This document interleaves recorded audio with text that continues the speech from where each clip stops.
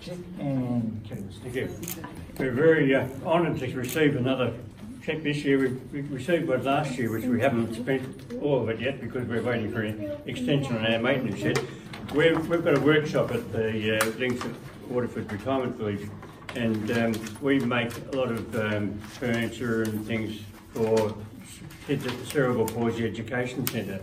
And um, they've got that many toys and things that they need shelving to get them off the ground. Uh, more, not just toys, they're furniture and things like that. So this is the sort of thing we're doing. This grant is going to make, uh, I think it's four of these sets and five, five smaller ones.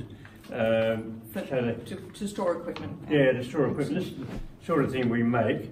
Um, and last year, as I said, we got a very good one, and this year that's going to go towards that. This is the sort of thing So if you were uh, wanted to be in a musical and you don't have the ability, just something like this makes somebody feel that you're in the band, you know, Yeah. and so easy to spin. And we make these, and uh, we've been requested to make another five, Yeah. and we also repair them that have been Yeah. made by other people, so so that kids have their own Yeah. special ones, and so.